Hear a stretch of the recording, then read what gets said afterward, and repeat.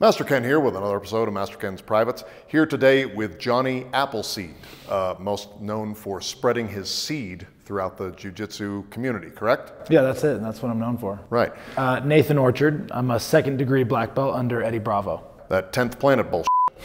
What are you going to be showing us today? Uh, I'm going to be showing a move that Eddie Bravo himself named after me called the Dead Orchard. All right. So he's going to show us the naked orchard. What was it? Dead Orchard. The dead orchard technique. And then I'm going to show you why I think his technique is rotten to the core. I'm Nathan Orchard, and I'm going to show the Dead Orchard.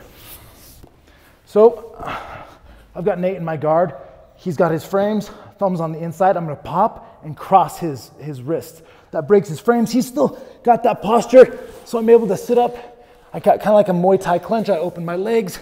There's no way he can stop me from breaking his posture here.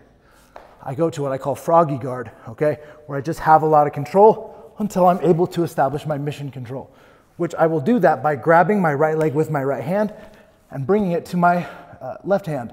The next thing I'm gonna do, this is the meanest way of doing it. I like to take my fist and just drive it in his throat. What that does is it makes him wanna take his opposite hand and push that hand off of my throat. That crosses his elbow line inside my hip line. Open my palm, hand down, hand out. If this arm is helping him survive and defend the armbar, I will zombie. Now that arm is out of the way, and we have the armbar.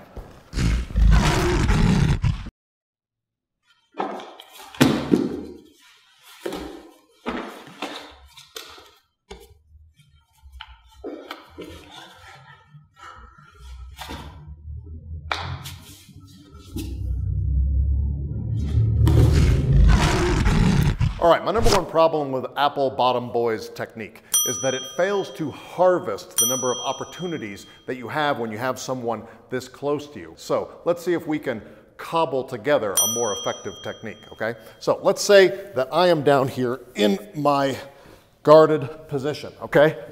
I wanna do something called the golden delicious. I tend to try to fight with a full bladder.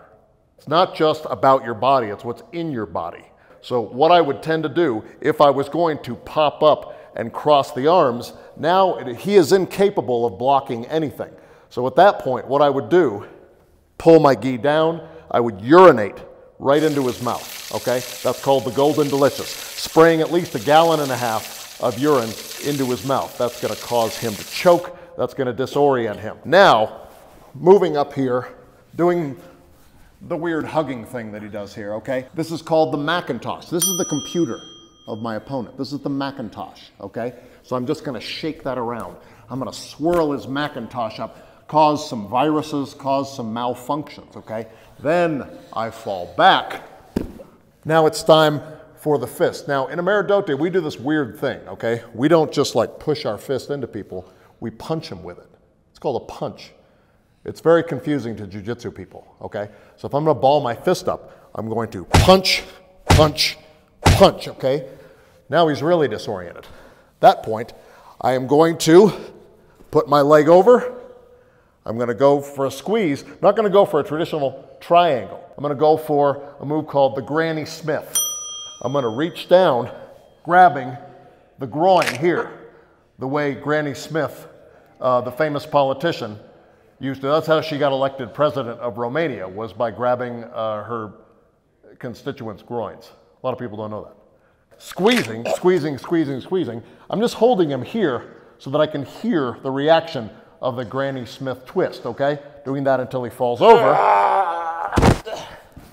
And then, as always, restomp that groin.